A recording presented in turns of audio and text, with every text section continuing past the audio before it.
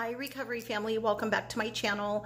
I hope everybody's recovering well. I hope everybody's healing well. And remember, recovery is not a race. Today we are making Fiesta Lime Cilantro Taco Bowls. Oh my gosh, that's a mouthful. We're gonna use a coleslaw salad kit and we're gonna put some taco meat on it.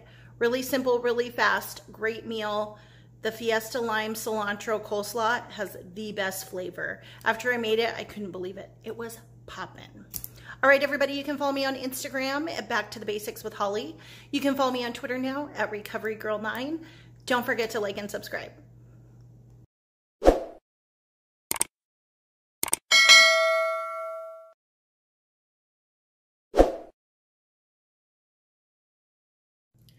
All right, everybody, let's get started.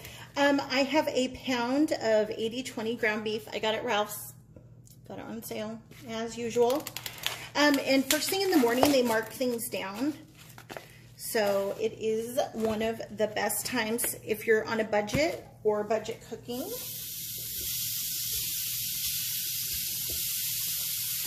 We're going to brown up our ground beef here.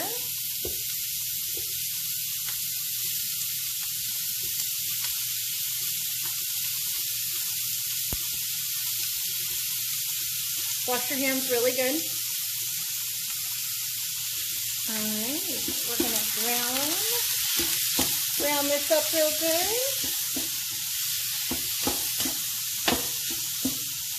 These are really simple, low-cost, fast meals that you can make. Sober living, family, kids' favorites. You can make anything into a taco and anything into a burrito.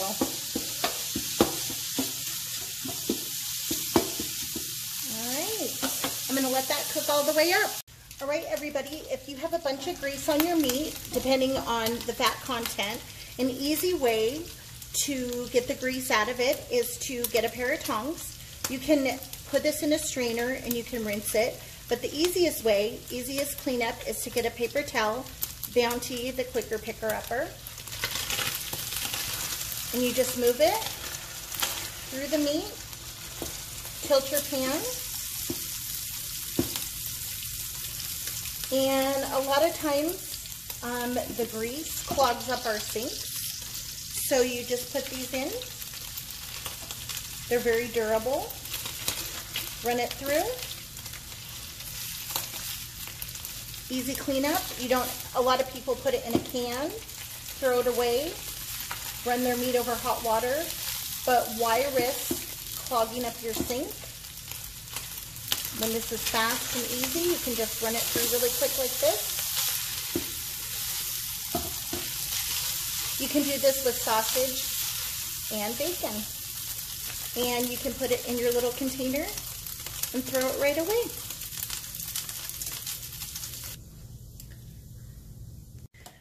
All right, everybody, the grease is totally drained off.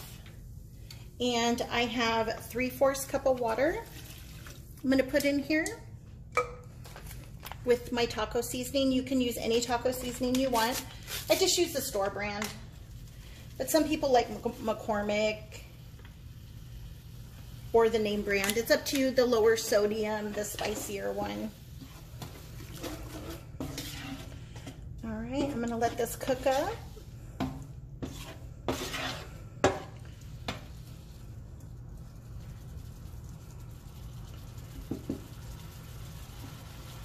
We'll let this cook for about two minutes and then we'll get to the rest of our bowl.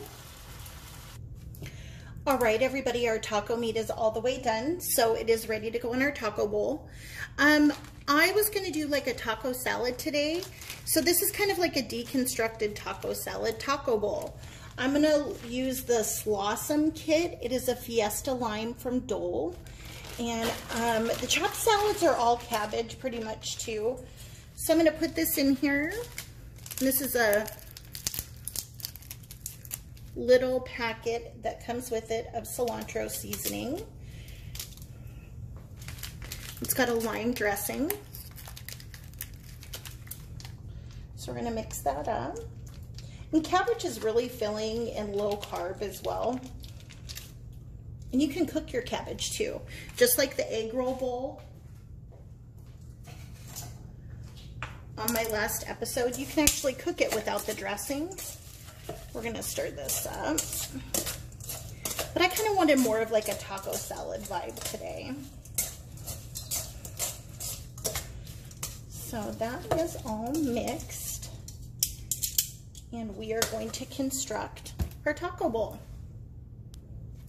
All right, we're all set. So I am going to put some of my coleslaw in my bowl here.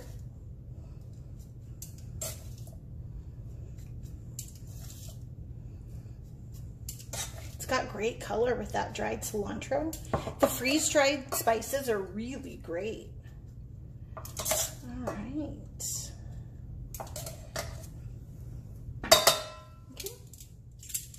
So then I'm gonna put some of my taco meat on top here. And you can top this with guacamole, sour cream, salsa, pico de gallo, whatever you want. And when you mix these coleslaws and these chopped salad mixes, they last for like a day and they don't get soggy. That's the great thing about the cabbage salads. All right, so I have that so far. Um, I'm gonna put a little bit of um, my avocado on top. Then I'm gonna top it with some fresh tomatoes. And I'm all set to go with a really low budget, low carb meal. All right, everybody, stay safe, stay beautiful, stay sober. See you next time.